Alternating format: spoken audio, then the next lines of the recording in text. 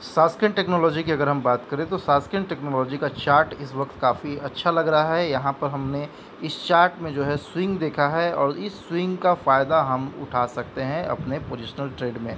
क्योंकि अगर हम इस स्विंग का फ़ायदा उठाना चाहते हैं तो हमें इसके करंट मार्केट प्राइस पर इस स्टॉक में एंट्री करनी होगी और सात सौ पचहत्तर के आसपास हमें स्टॉप लॉस लगाना होगा। उसके बाद हमें एक हज़ार पच्चीस तक का टारगेट बहुत कम समय में देखने को मिल सकता है। फ़िलहाल इस स्टॉक को सिलेक्ट करने का सबसे बड़ा रीज़न यही था क्योंकि यहाँ पर हमें इस स्टॉक में स्विंग देखने को मिला है।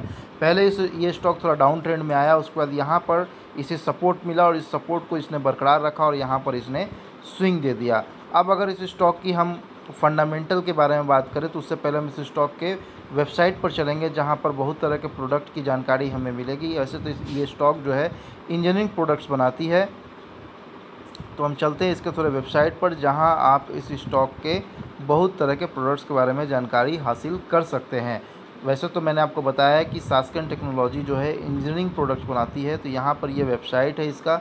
इस वेबसाइट पर आ कर के इसके विभिन्न तरह के जो भी प्रोडक्ट्स ये कंपनी बनाती है, उसके बारे में आप यहाँ पर जानकारी हासिल कर सकते हैं। तो हम लोग वापस चलते हैं और देखते हैं कि इसके फंडामेंटल्स की कौन कौन से हमारे फेवरेबल हैं कौन कौन से फंडामेंटल्स की इनके मज़बूत हैं जो हमें इन्वेस्टमेंट के तौर पर काम आ सकते हैं। अगर हम चाहें कि हम इस स्टॉक में इन्वेस्टमेंट करना चाहते हैं तो इन्वेस्टमेंट करने के लिए भी स्टॉक काफ़ी अच्छा है। लंबे समय में हमें इस, स्टॉक में डिविडेंड का भी फ़ायदा मिल सकता है और जो इसके प्राइस में जो इंक्रीमेंट होगी वो तो अलग फ़ायदा है जो लंबे समय में काफ़ी बड़ा फ़ायदा होता है कि इन्वेस्टर्स को। तो यहाँ पर हम चलते हैं थोड़ा सा इसके फंडामेंटल्स के बारे में जानते हैं। सबसे पहले हम लोग इसके इवेंट के बारे में देखेंगे कि डिविडेंड कब कब इस कंपनी ने प्रोवाइड किया है। तो डिविडेंड की अगर हम बात करें तो आप यहाँ पर देख सकते हैं कि इसने इकतीस अक्टूबर 2022 को डिविडेंड दिया था, फिर 14 जुलाई को भी इसने डिविडेंड दिया था 2022 में ही, फिर 2021 में 28 अक्टूबर को इसने डिविडेंड दिया था। तो इस तरह से ये कंपनी लगातार अपने इन्वेस्टर्स को डिविडेंड भी समय समय पर देती रहती है। तो इस तरह से इस स्टॉक में लंबे समय के लिए भी इन्वेस्ट किया जा सकता है। अगर हम इसके कुछ फंडामेंटल्स की की बात करें तो इसका जो मार्केट कैप है वो 1307 करोड़ का है। आर जो मार्केट में कहा जाता है कि अगर किसी कंपनी स्टॉक का आर किसी कंपनी का आर अगर 20 से ज़्यादा है तो वो स्टॉक इन्वेस्टमेंट के लिए काफ़ी बढ़िया माना जाता है। तो यहाँ पर हम देख सकते हैं कि इस स्टॉक का आर जो है वो 20 से ज़्यादा है 21.06 परसेंट है। पी रेशियो भी काफ़ी सस्ता है। स्टॉक पी के आधार पर हम चलेंगे कि अगर हमेशा कहा जाता है कि 15 के आसपास अगर किसी भी स्टॉक का पी हो तो वो स्टॉक बाय करने के लायक है। तो यहाँ पर हम देख सकते हैं कि इस स्टॉक का पी पंद्रह से भी कम है, यानी कि बारह के आसपास चल रहा है। ईपीएस की अगर हम बात करें तो ईपीएस भी काफ़ी अच्छा है seventy two point one nine पर शेयर जो है ईपीएस ये कंपनी शो कर रही है। और डेप्ट अगर डेप्ट की अगर हम बात करें तो डेप्ट तो बिल्कुल भी ज़ीरो यानी कि डेप्ट टू इक्विटी इस कंपनी की ज़ीरो है। तो इस कंपनी पर किसी भी तरह का कर्ज भी नहीं है। इस कंपनी का चार्ट भी काफ़ी अच्छा दिखाई दे रहा है। और इस कंपनी का पी रेशियो भी काफ़ी कम है, यानी कि स्टॉक जो है काफ़ी सस्ते वैल्यूएशन पर अभी मार्केट में उपलब्ध है। और रिटर्न और रिटर्न ऑफ़ इक्विटी की बात करें तो वो भी काफ़ी अच्छा है, जो 20 से ग्रेटर देन 20 है। तो इस लिहाज से भी स्टॉक में लंबे समय के लिए इन्वेस्ट किया जा सकता है। और अगर हम प्रॉफिट की बात करें तो हम यहाँ पर प्रॉफिट देखेंगे। प्रॉफिट हम लोग क्वार्टरली नहीं देखेंगे ईयरली बेसिस देखेंगे, क्योंकि अगर हम प्रॉफिट देख रहे हैं तो ज़ाहिर सी बात है कि हम इन्वेस्टमेंट के नज़रिए से स्टॉक के प्रॉफिट को देख रहे हैं। तो प्रॉफिट को अगर इन्वेस्टमेंट के नज़रिए से देखना है तो हमें ईयरली बेसिस प्रॉफिट देखना ज़्यादा ज़रूरी होता है। जो यहाँ पर हम देख सकते हैं कि दो में जो है इसका प्रॉफिट बिरासी करोड़ था। फिर 2019 में बढ़ करके 90 करोड़ हो गया। 2020 में इसका जो प्रॉफिट थोड़ा डिक्रीज़ हुआ है, लेकिन बहुत ज़्यादा डिक्रीज़ नहीं हुआ है। करीब 11 करोड़ के आसपास का डिफरेंस आया है। उसके बाद फिर दो इक्कीस में जो है इसका प्रॉफिट सेवेंटी नाइन से वन हंड्रेड फिफ्टीन करोड़ हो गया। और ठीक उसके बाद वाले साल 2022 में तो काफ़ी ज़्यादा इसके प्रॉफिट में ग्रोथ देखा गया है, जो 115 करोड़ से बढ़ करके 128 करोड़ हो गया है।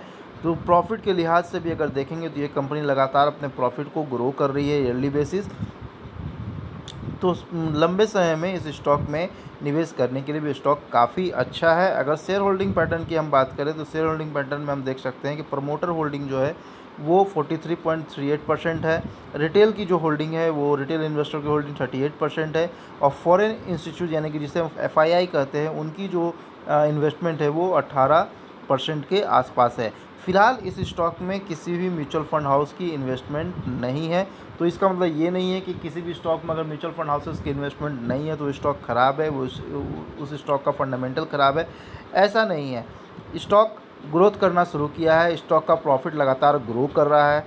हम अगर इन्वेस्ट करना चालू करेंगे जैसे जैसे स्टॉक का प्राइस बढ़ेगा हम हम सब देखेंगे कि इसमें म्यूचुअल फंड हाउसेस की भी एंट्री होने लगी है, म्यूचुअल फंड हाउसेस की भी इन्वेस्टमेंट धीरे धीरे आने लगी है और वो समय के साथ बढ़ने भी लगी है। तो इस तरह से इस स्टॉक में इन्वेस्टमेंट का भी मन बनाया जा सकता है। अगर हम इन्वेस्टमेंट करना चाहते हैं लंबे समय के लिए तो हम इन्वेस्टमेंट भी कर सकते हैं लंबे समय के लिए और अगर हम पोजिशनल ट्रेड करना चाहते हैं तो पोजिशनल ट्रेड करने के लिए भी इस स्टॉक में बेहतरीन मौका है। स्टॉक जो है अभी अभी स्विंग होता हुआ दिखाई दे रहा है चार्ट पर, जिसके बाद अगर हम लोग इसी इस स्टॉक में करंट मार्केट प्राइस पर एंट्री करेंगे तो हमें एक हज़ार पचहत्तर के आसपास का जो है टारगेट देखने को मिल सकता है इस स्टॉक में।